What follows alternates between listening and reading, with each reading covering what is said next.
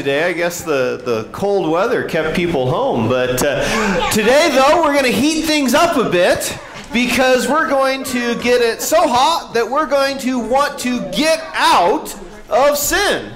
We're going to want to get out of Babylon. And so today, as we get out, we will open with our first hymn, hymn 705. The man is ever blessed, verses 1, 2, 4, and 5. Please stand as we open our worship.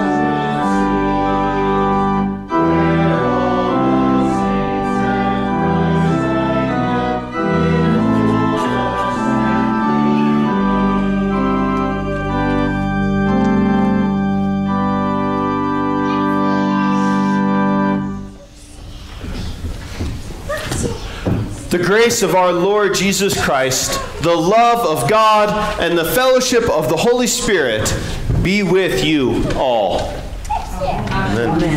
We join together in saying Psalm 102 responsively. Hear my prayer, O Lord. Let my cry for let me let my cry for help come to you. Do not hide your face from me when I am in distress. Turn your ear to me when I call. Answer me quickly. For my days vanish like smoke, my bones burn like glowing embers. My heart is blighted and withered like grass. I forget to eat my food. Because of my loud groaning, I am reduced to skin and bones.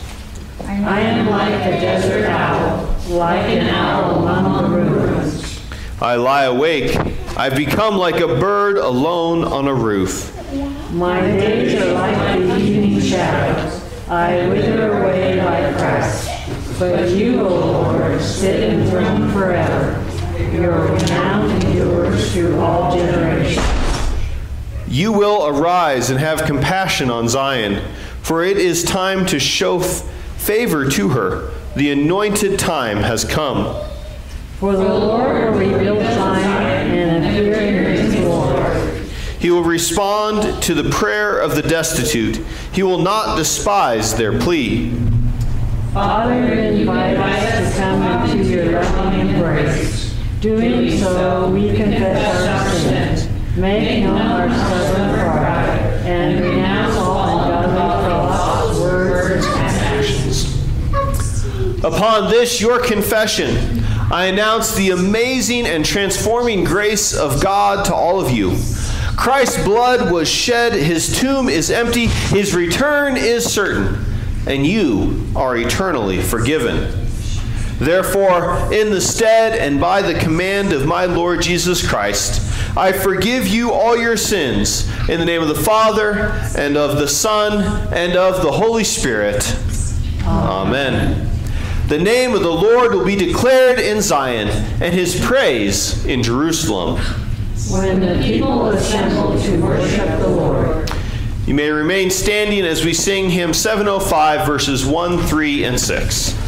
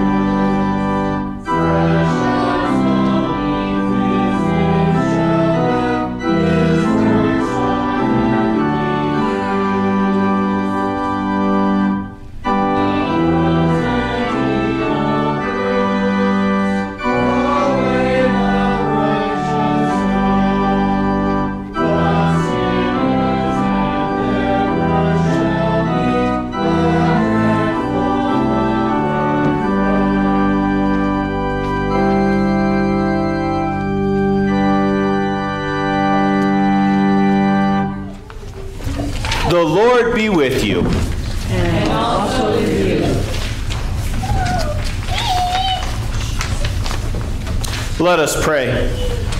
Gracious Father, you provided the gift of your Son, who suffered and died to cleanse us from our iniquities. As our atoning sacrifice and Passover lamb, his blood forgives us and frees us from all sin. Hear us as we give you thanks and praise for this wonderful salvation through Jesus Christ, your Son, our Lord, who lives and reigns with you and the Holy Spirit, one God, now and forever. Amen. You may be seated as we as for the readings.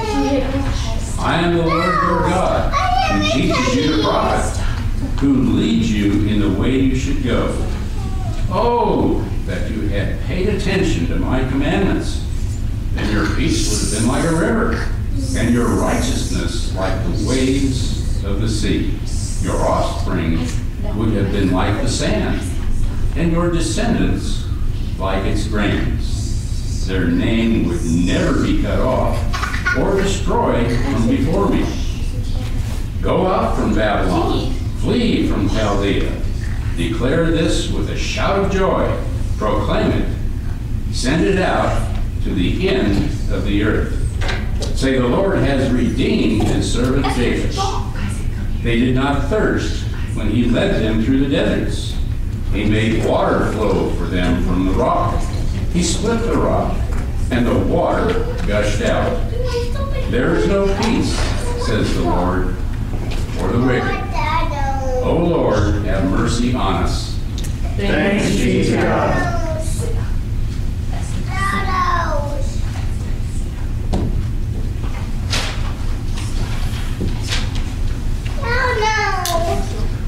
So instead of having the kids come up, we're just going to talk to you right here, okay? And you guys can participate too, because you're all God's children, right? Right. So I've got a question for you guys, okay? Have you ever heard a fire alarm? Yes. Yes. Done Yes? Oh, okay.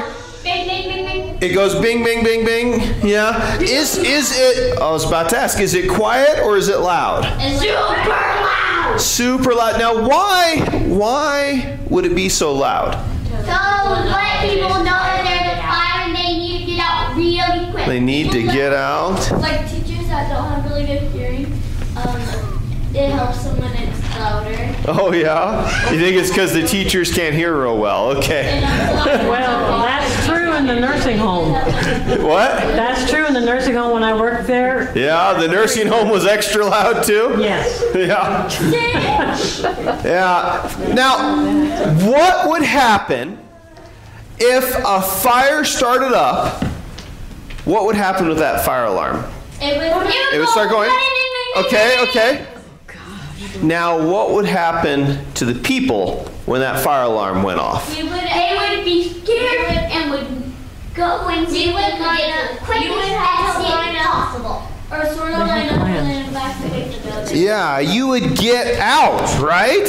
Yeah. So here's another question What would happen to the people, or what would they do, if the fire alarm never went off, but there was a fire?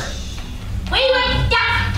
They could possibly die, or if there was a fire alarm there and they started to sell, It would be bad, wouldn't it? they would probably pull it, and then people would have to start evacuating. Yeah, it, that could be really bad. Like, it, people could die, right? That would be not a good thing. Mm-hmm. Why. Do you know in our Bible reading today, the prophet Isaiah, well, God, through the prophet Isaiah, said, Get out. He was talking to the people of Israel and he said, Get out of Babylon. It's on fire. It's dangerous. You need to leave. He would alarm. He was the alarm. Very good. He was the alarm, and he wanted God's people to get out because God knew that they were on fire in sin, in the dangers of sin. And so, in our reading, God said, Get out. And so, what should we do when we hear that there's sin around us? Get out. Get out of it. Exactly. And how and how do we get out of sin? Jesus. With Jesus. With Jesus. Exactly. Jesus is the one who gets us out, isn't he? Because when we try running around in all the smoke, we get confused. We don't know what's going on. But Jesus guides us out. Yeah. He guides us out and he forgives us and makes it all new again. Let's fold our hands. Ready? Repeat after me.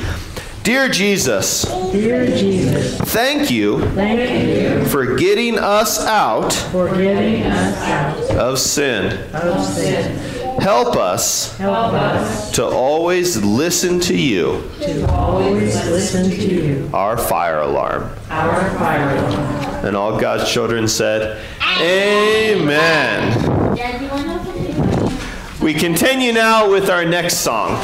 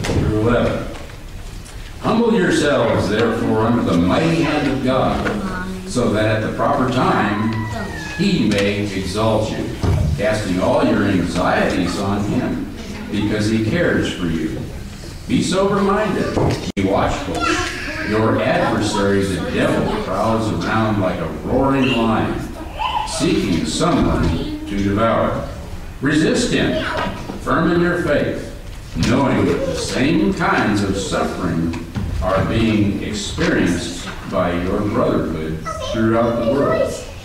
And after you have suffered a little while, the God of all grace, who has called you to his eternal glory in Christ, will himself restore, confirm, strengthen, and establish you.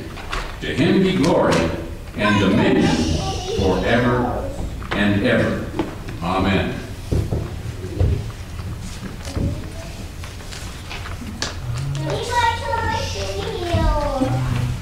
Please stand and honor the gospel reading.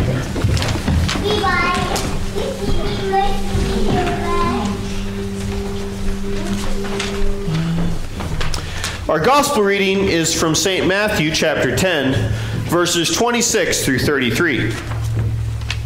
So have no fear of them, for nothing is covered that will not be revealed, or hidden that will not be known. What I tell you in the dark, say in the light, and what you hear whispered, proclaim on the housetops. And do not fear those who kill the body, but cannot kill the soul. Rather, fear him who can destroy both soul and body in hell. Are not two sparrows sold for a penny? And not one of them will fall to the ground apart from your Father. By even the hairs of but even the hairs of your head are all numbered.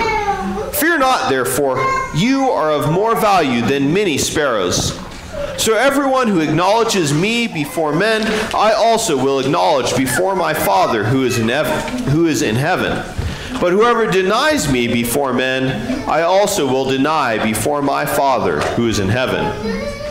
O Lord, have mercy on us. We now join together in confessing our faith with the words of the Apostles' Creed. When someone asks what you believe, you can respond by saying, I believe in God the Father Almighty, maker of heaven and earth, and in Jesus Christ, his only Son, our Lord, who was conceived by the Holy Spirit, born of the Virgin Mary, suffered under Pontius Pilate, was crucified, died, and was buried. He descended into hell. The third day he rose again from the dead. He ascended into heaven and sits at the right hand of God the Father Almighty. From thence he will come to judge the living and the dead. I believe in the Holy Spirit, the holy Christian church, the communion of saints, the forgiveness of sins, the resurrection of the body, and the life everlasting. Amen. You may be seated as we sing hymn 431, Not All the Blood of Beast.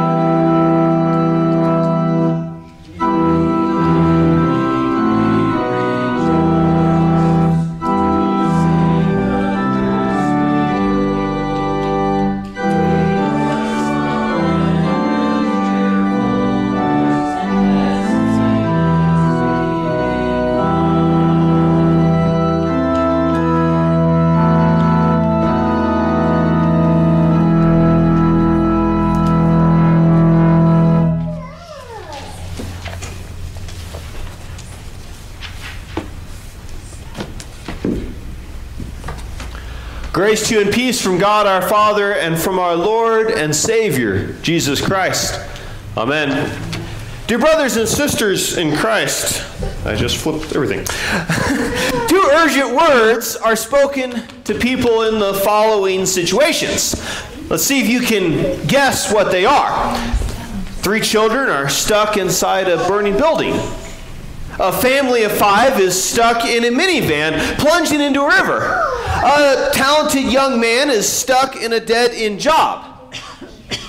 Now, what would you say in two words to those people? Get out. Exactly. Now, once when I was uh, teaching Air Force ROTC, uh, we were teaching the cadets specifically, uh, sorry, I was teaching the cadets about Maslow's hierarchy of needs and how to apply that to motivational leadership theories. And so I demonstrated the bottom tier of Maslow's motivational hierarchy, which is the basic need of human beings for survival. And I did this by running up the stairs to the cadet classroom and yelling, There's a fire! Everyone get out!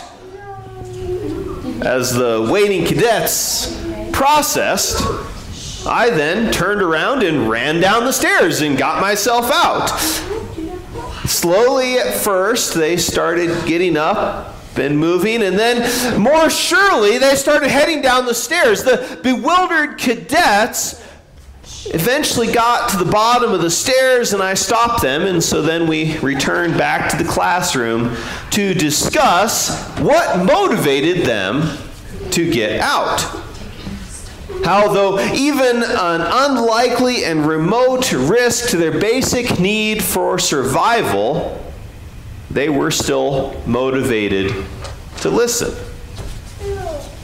In August 587 BC, Israel, Israel's world caved in. The temple was demolished and burnt. The, monarchy lay in ruins. The land became a wasteland, and all hope for survival was dismantled and destroyed. After that, a massive aftershock, if you would, if you will, brought them even further brought them even further wreckage and ruin. As they traveled 700 miles from home, and Israel's exile became that they were trapped in a basement under a burning building called Babylon. The prophet Isaiah's summons is very singular in this instance. Get out, he tells them.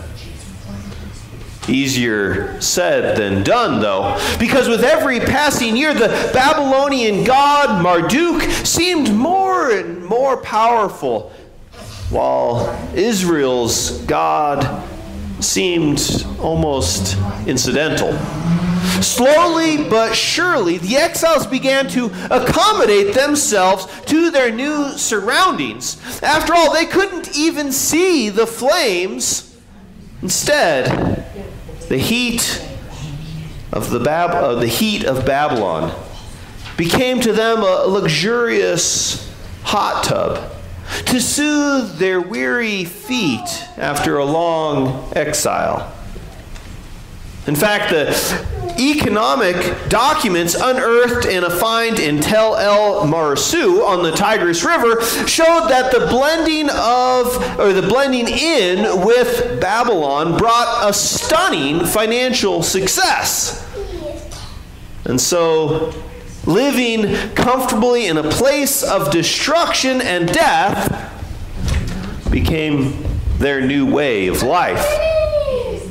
It was that whole boiling frog scenario. And although I've never tried this myself, I've always been told that if you place a frog in a pot of hot water, it will immediately jump out.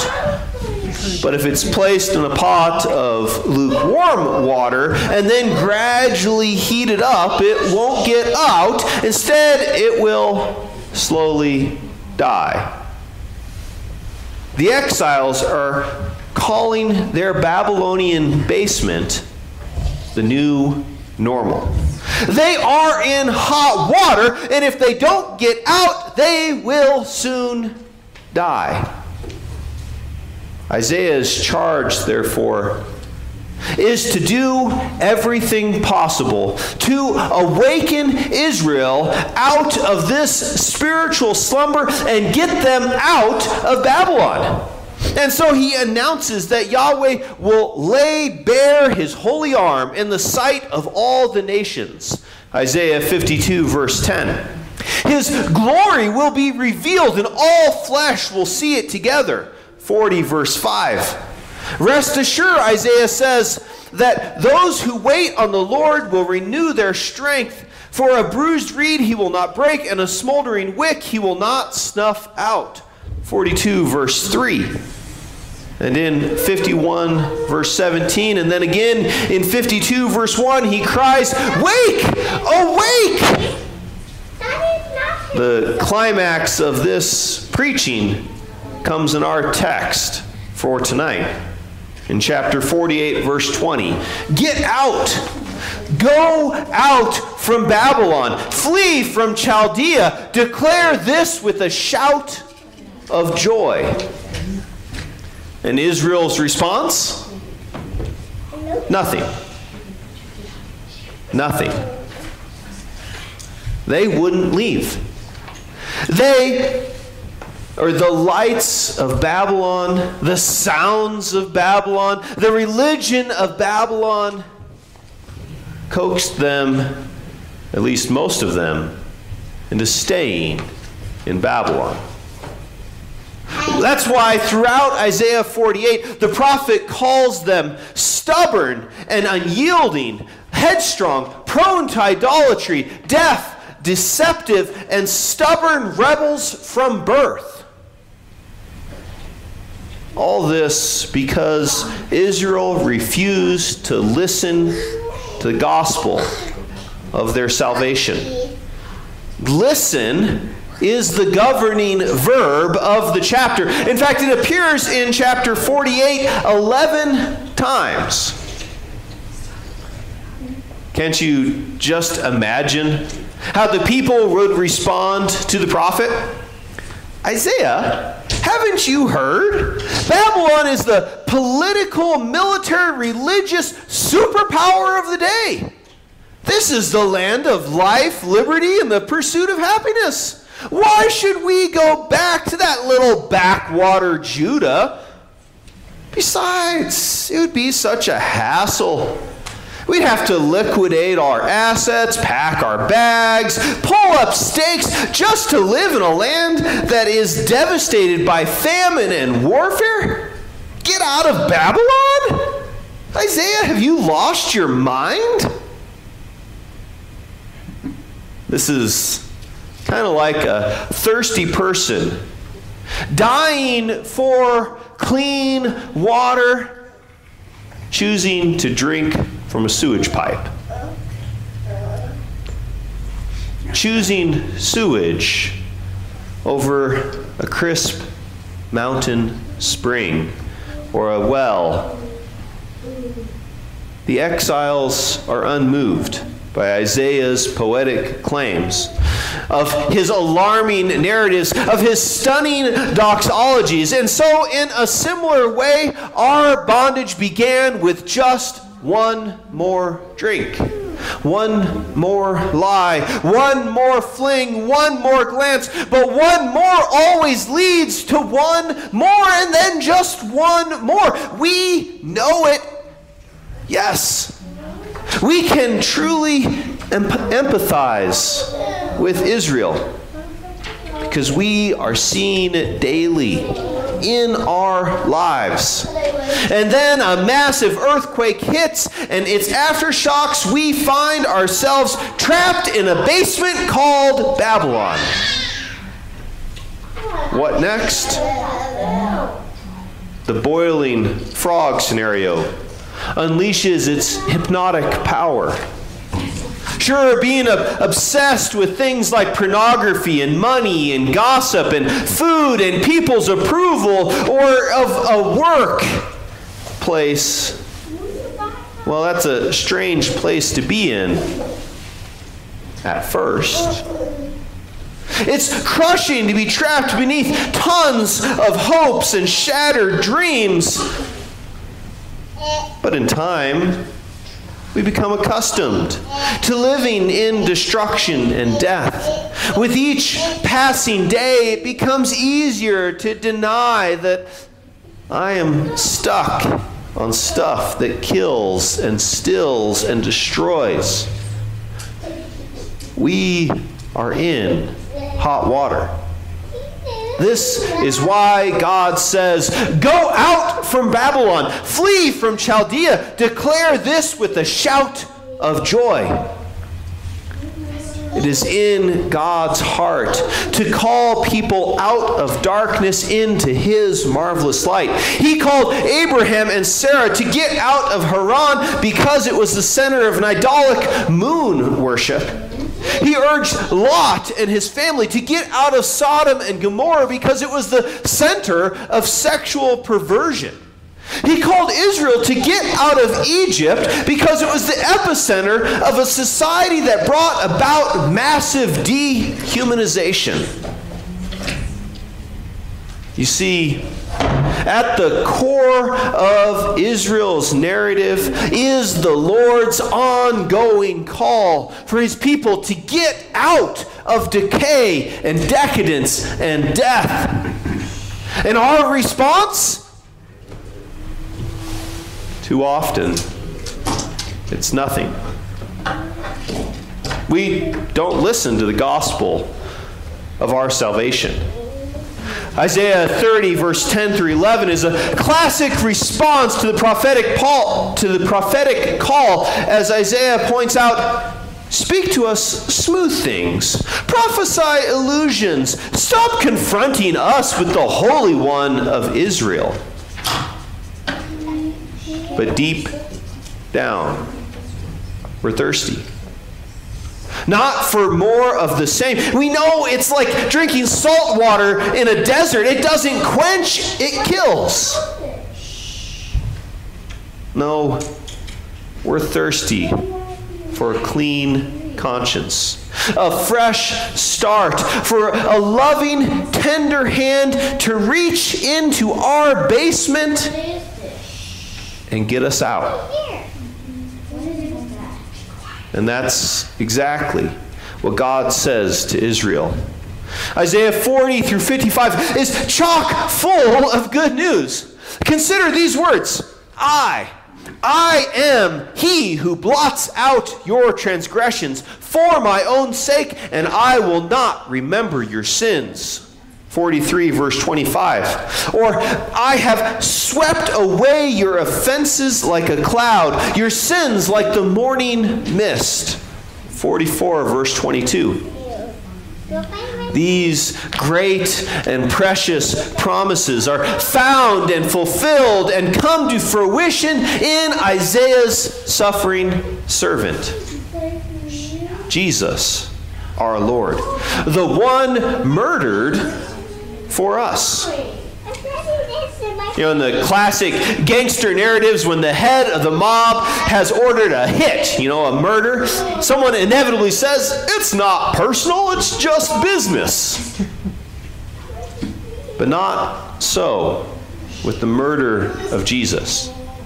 It was intensely personal. Judas Iscariot, Iscariot betrayed Jesus with a kiss. In his hour of need, his friends ran for cover. His countrymen clamored for his death. His very own father abandoned him. It was very personal.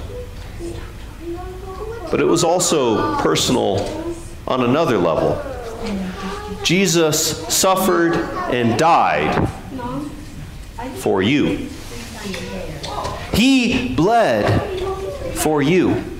He sweated for you. He felt the nails and the thorns for you. And because of that, Jesus comes for you in your hour of darkness and sin. He comes to rescue, release, and free you from guilt and shame and regret. And our response? We get out of Babylon. We flee Chaldea. We declare this with a shout of joy. Praise God. Christ died for me. Amen. May the peace of God, which passes all understanding, keep your hearts and minds in Christ Jesus. Amen. We now worship God with our tithes and offering, and we will collect the offering as we sing verse 1 of hymn 563, and then the offering will be brought forward as we sing verse 6, in which we'll stand as well.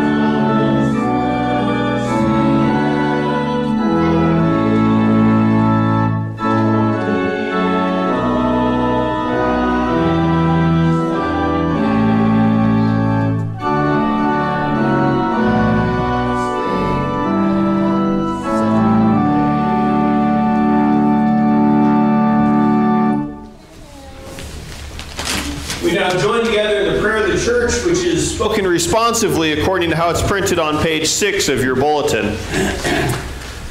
Father in heaven, you command your church.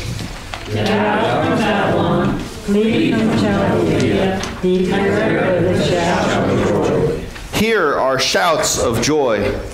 What can away my sin? Nothing but the blood of Jesus. What can make me whole again? Nothing but the Jesus.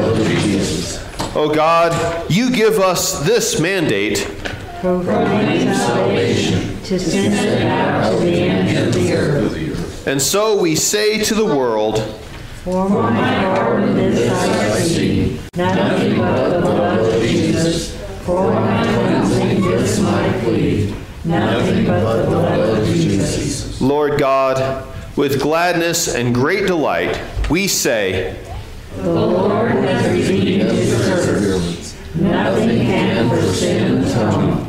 Nothing but the blood of Jesus. Not the good that I have done. Nothing but the blood of Jesus. Hands were cut, blood was shed, and we are saved. All praise to you, Father, Son, and Holy Spirit, now and forever. Boldly and confidently we pray together the Lord's Prayer. Our Father, who art in heaven, hallowed be thy name. Thy kingdom come, thy will be done, on earth as it is in heaven.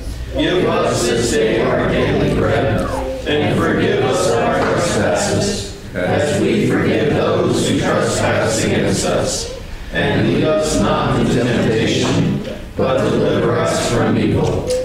For thine is the kingdom, and the power, and the glory, forever and ever. Amen.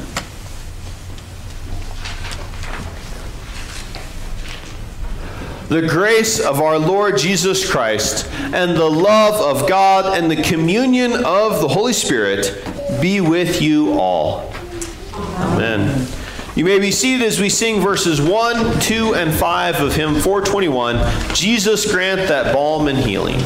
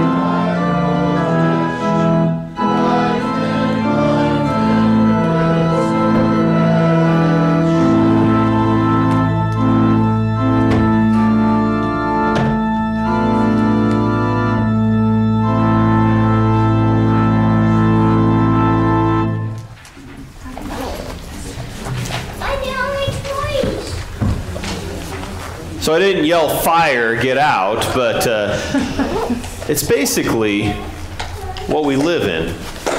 It's a, it's a subtle burning, a subtle warming, a subtle temptation, and temptation after temptation after temptation should help us at least be more aware of God crying out to us Get out! Flee from sin. Flee from Babylon. Follow our Savior Christ. Amen.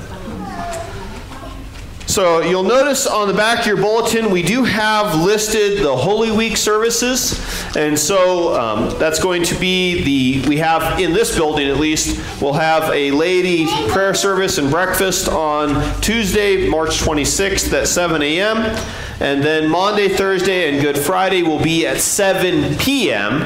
I know we've been doing the 4:30 ones on the Wednesdays, but we're going to do 7 p.m. for Thursday and Friday of Holy Week. And then for Easter Sunday, we'll have our two services with the sunrise at 6:45, and then an Easter breakfast at 7:45, and then Easter worship again, sorry, a second service at 9 a.m.